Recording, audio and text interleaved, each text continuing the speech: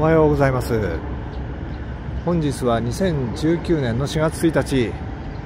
今日から4月なんですね、えー、桜が綺麗に咲いてます。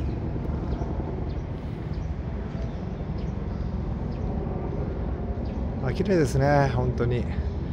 で天気も良くてなんか今日夕方ぐらいからあの天候急変で雨が降るっていう風な予報出てますけどもね。とりあえず今はもう青空が広がって大変綺麗です。で私は今日ですねこれからあの例によってまたニューオータニ行きましてでそこのあのキューベイでお寿司を食べるということになってます。であのキューベイはねあのニューオータニ2つ入ってるんですよね。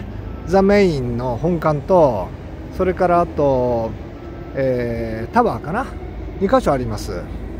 ですからねあの間違えないようにしないといけないんですね。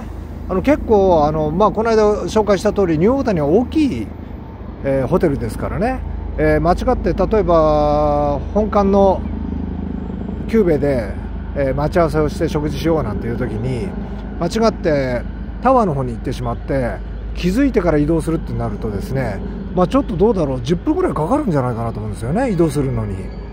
ということで大切な例えばあの食事会等で、えー、そういうことをして遅刻しましたみたいなことがまあこれね少なからずあるようなんです。あの飯田さんに聞いてみるとね。そういうこともありますんで、まあ、気をつけていかないといけないんですけれども。それにしても綺麗ですね本当に。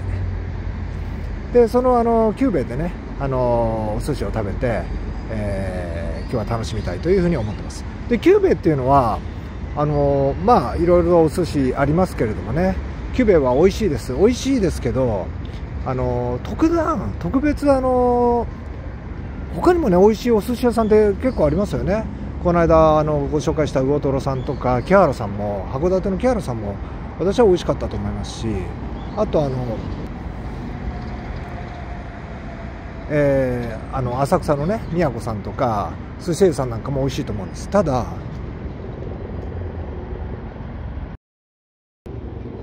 ただあの銀座久兵衛さんのすごいところはですね、えー、まあ、あの今確か6店舗かなんかねあのあると店舗あると思うんですけれどもで私はそのうちの3店舗しか行ってないんですけれども、えー、どの店舗行きましてもねあのその品質があの一定に保られて保たれていて美味しいと。で例えばこれから行くメインの本館の仁王谷本館の久兵衛さんも通常板さんが4人ぐらいでね一斉に握るんですけれどもどの板さんに握ってもらっても大変ねあの美味しいんですね。あのこの板さんが美味しいとかあっちの板さんがあんまり美味しくないとかそういうのはないんです。これはなかなかね私はすごいことだと思うんです。まあ寿司ネタが新鮮で誰が握ってもまあ同じじゃないかなっていうふうにね思う方もいらっしゃるかもしれないんですけど私はそう思わないんですよね。やっぱり握る方のによって同じ寿司ネタ同じ、えーと、酢飯でもですねあのちょっと味やっぱり違うというふうに思います。私が初めて入ったのは、えー、ホテルオークラの、えー、今ねなんかオークラとオークラを久兵衛が訴えたとかってやってますけどホテルオークラのあの久兵衛さんなんですね。でそのまではですね久兵衛入ったことなくてそれで、まあ、そこでちょっとお寿司でも食べてみようと。いやそんなに私好きお寿司好きだと思ってなかったんで、うん、お寿司かと思ってキューベさんに入ってそして最初の1貫目を口にした時にですねいや大変驚きました。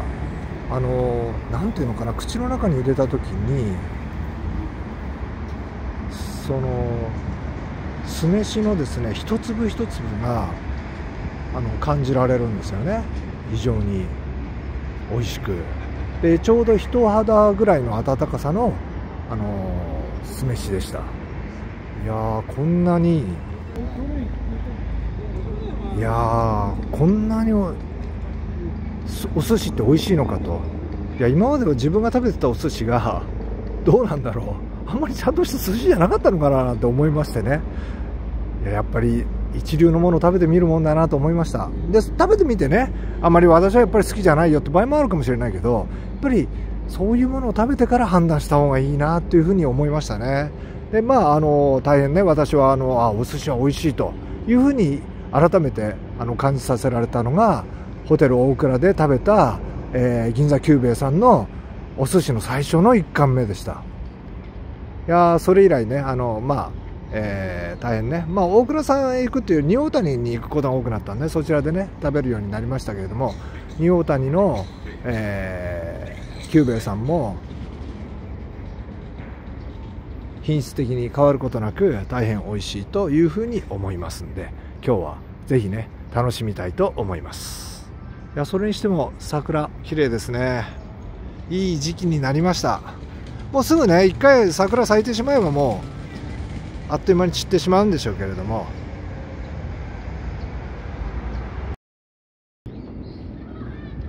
で銀座久兵衛さんといえばえー、創業がですね1935年ということなんで、えー、まあ、ちょうどですね、えー、1936年が226事件ですから、まあ、515事件が起こりいろんな問題があってそして、あのまあ、これから太平洋戦争第二次世界大戦太平洋戦争に向かっていくということで、え大変ですねきな臭い時期で創業なさってるんですね。あの今は3代目の社長さんということになりますけれども、え、そういう時期に創業してそれで初代のねあの、えー、久兵衛を創業なさった、えー、方はあの軍艦巻きを、えー、最初にね艦が考案して、えー、出したということでも有名なんですね。だから軍艦巻き今ではまあだらどこにでもある軍艦巻きですけれどもあれキューベイさんがもともとスタートなんですね。また後であのそんなこともあのもしねチャンスがあれば板さんに聞いてみようかなと思いますけれども。あの初代の方のちょっとお名前忘れたんですけどなんでキューベイっていうかというと確かですねその初代の方のニックネームがキューベイ。名前は全然違うんですけどもね。確かキューベイってさんというニックネームがあってそれをそのままあのお店の名前にしたというふうに私はあの聞いてますけれども。そんなあたりもねもし聞けたら聞きたいと思います。まあ桜綺麗です。で早速、えー、東京都千代田区紀尾井町にありますホテルニューオータニにやってきました。これ日本庭園ですね。で4月1日といえばですねあの今日の11時30分に確か新しい元号が、えー、発表されるということで、えー、どんな元号になるか、あの楽しみですよね。私はちょうどそのキューベイで食事をし始めてる頃にその新しい元号が発表されることになるんだなと思いますけれども私4月1日と言いますと新しい年度が始まる時期でもありますしあの新しい新卒の社員がですね、入社してくる時期でもありますよね。で今日も入社式あのこのニューオータニでもいくつかの会社が、え、入社式をやってらっしゃるようであの新しいねあのスーツに身を包んだ若い方々が、えー、先ほども大勢いらっしゃいました。そういうね新しい年度のスタートということでああだんだんこの間来た時よりもぐっとあの緑があの若々しくなりましたね。新緑の時期になってきましたし昨日はね山登って大変渋い山を登ってきました。あのまだ新緑も何もあ、まあ、ない、まあ、まだまだね、えー、頂上付近では雪もちらつくような感じでしたけれどもそういう頃でしたけれどもところでしたけれども今日は大変ね綺麗なこの仁王谷の、えー、日本庭園を、えー、の新緑をね大変楽しんでおります。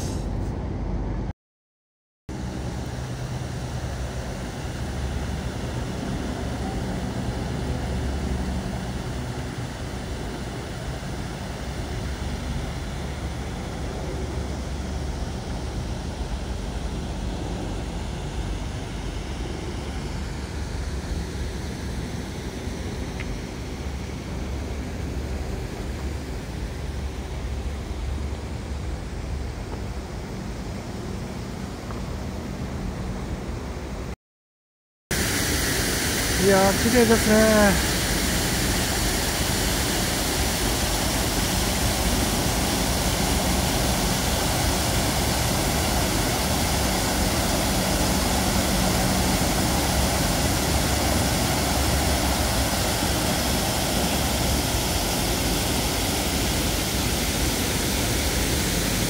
皆さんこのね日本庭園あのちらほら楽しんでらっしゃいますよね。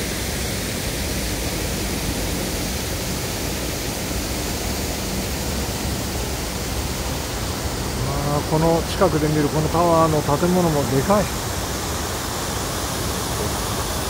こんな感じです。こんにちは。お願いします。はい。ではここで。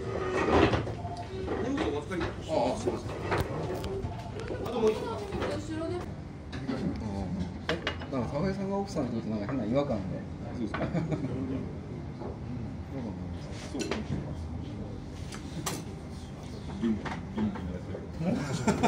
ああそういうもんなんですか。そういうもんですよね。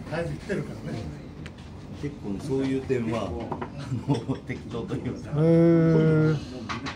特にそういう事務所があってなんかやってるとかそういうわけでもないので、結構適当はできてる。もともとあれなんですか？なんでキューベイさんって言うんですか？先代の名前の名前キューベイっておっしゃるんですか？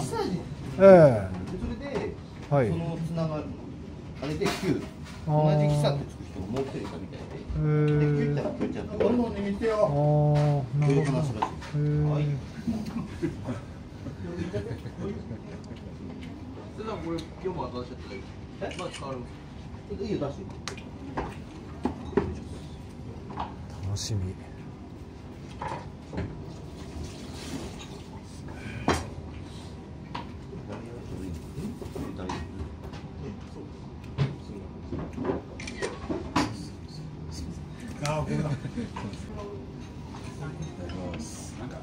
家でもと思ってない。ちょっと作ろうとしてんじゃないですか。マンションで家かわかんない。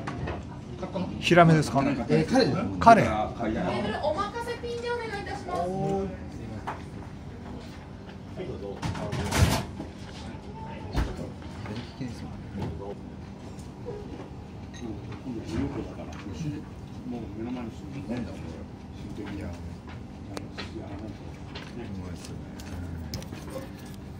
のべったら漬け美味しい。九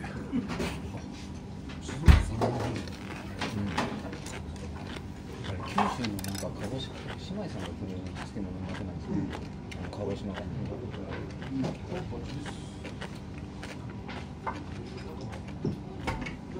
うぞカンパチです。カンパチ。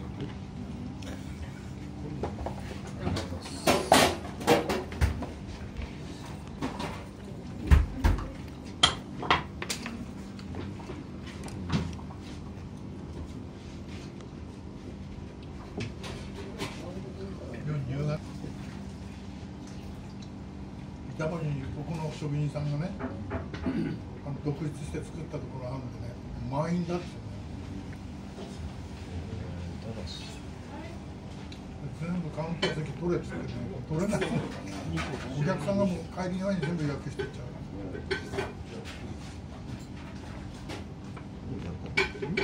カツオだな。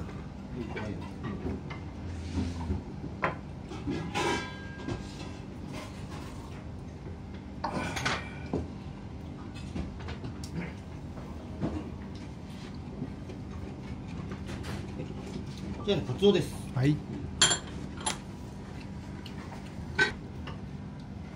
このねさんのこの職人さんはね、月給高いの一人倍もらってるカツオです。これは大トロ。中トロ。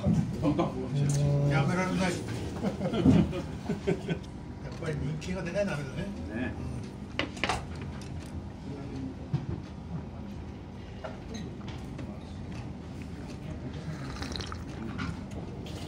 この漬物もうまいね。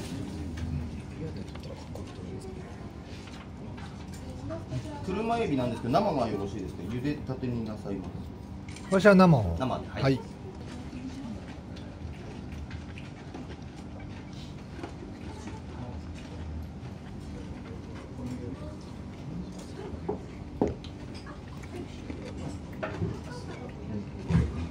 小肌だな九州がうまくなかったねあ、そうですか。そうそう。柴山さんと一緒のあ、帰って来られるのかな。いや私もね電話しようかなと思ったんだけど小田であの自分が仕事あってねあのちょっと躊躇したね。イカだな。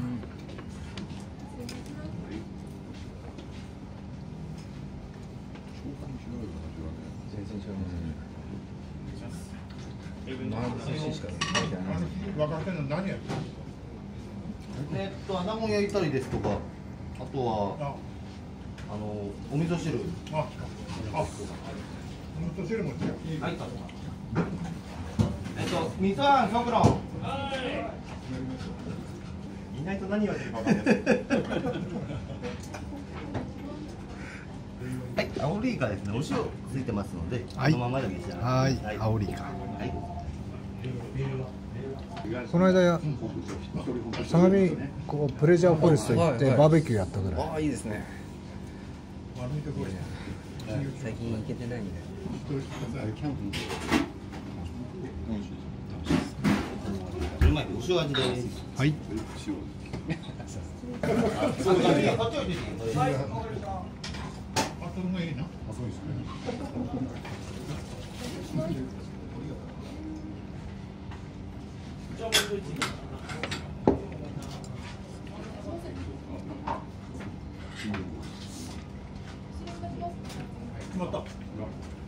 あ、言語そうですね。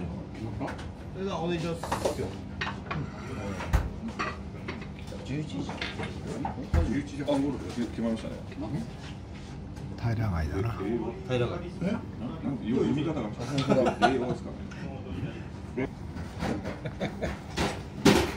そういえば前店長さん言ってましたけど軍艦巻きってえ久兵衛さんが最初なんですよねっていう話です。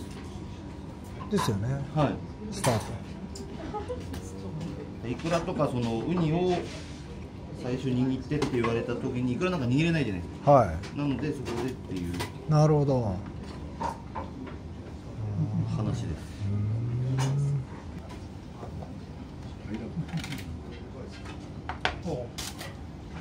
これですのえ走りください。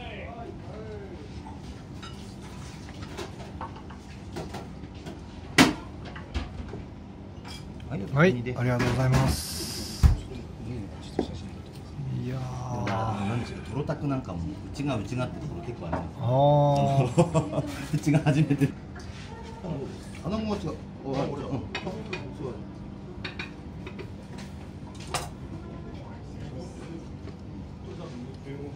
はい奈良漬けですはい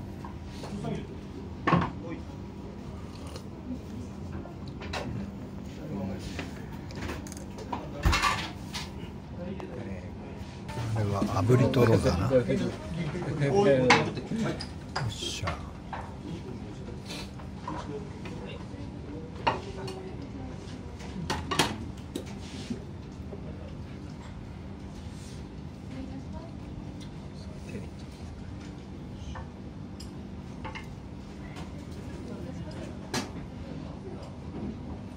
はい。どうぞはいい大トロ炙ったらな。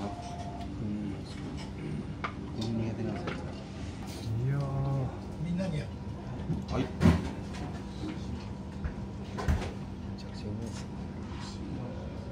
あ二人は鉄球高くて恵まれてんだからな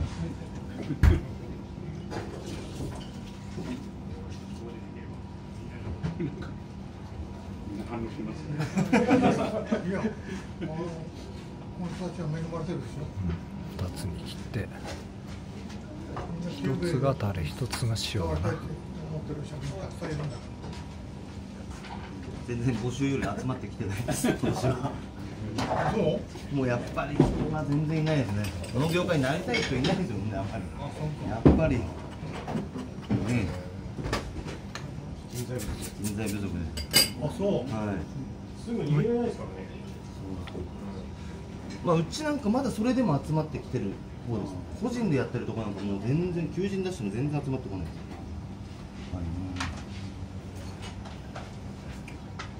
でうなんで和食屋さんも最近はね女性をこう入れたりしてるとこ結構ありますしね。もう一部女性を本格的に入れていかないと。そっちでやった方がいいですか？ねこっちでいいですか？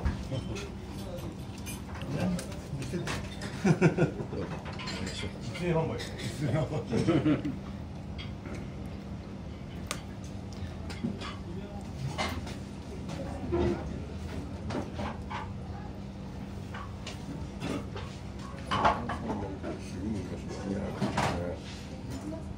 はみ出ちゃうんだねぐらいやったら家で手巻き寿司とかやってるうわ結構いくな家で俺さん手伝う。僕。は片付けをちょっと手伝います。三千本。ね素晴らしいなはい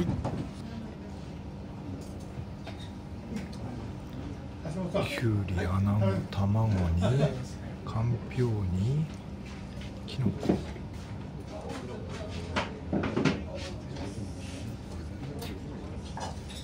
あれでよく負けますよね。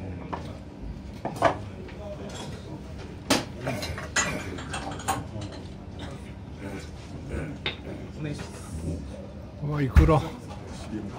なんだか。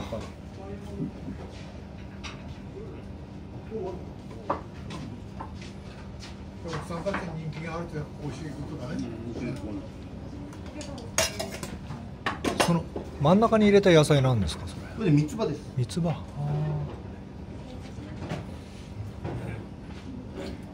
エビだ。も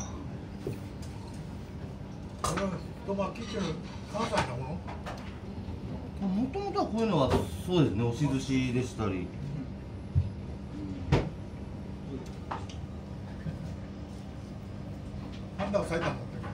僕山形です。山形うわ。巻かれるね 巻かれるわ。竹みたいなの使わないです。ねああこれー形を整え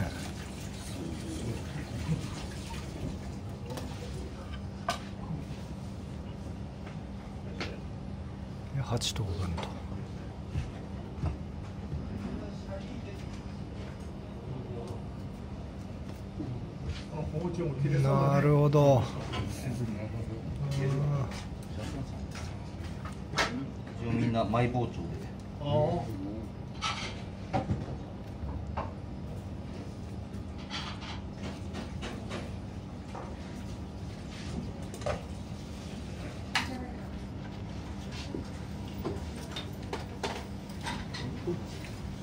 あはいこ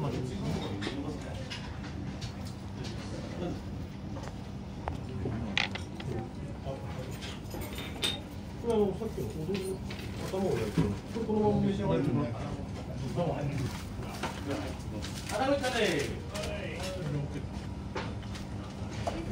がとうございました。どうもあります外人と一人で来る人はやっぱり本当まっすぐですねそうですねはい。海外の方結構ね女性でも一人で来ます。海外の方は。はい。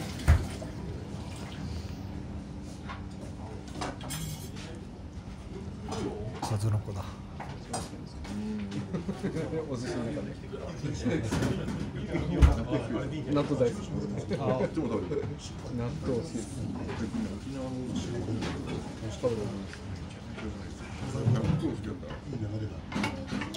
はいありがとうございます。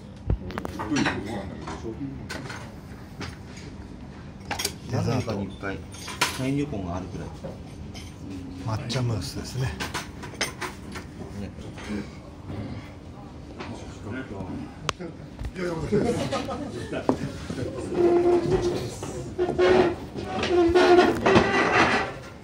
はいすいません。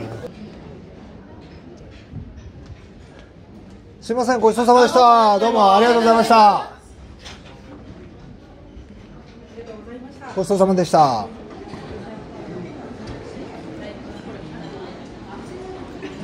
美味しゅうございました。これが今日のあのお土産の、えー太巻きですね。1本6000円かなこれで。税別。でこれをちょっとこう開けてみま見たいと思います。ん？こういうことかこういう感じになってまして。じゃーん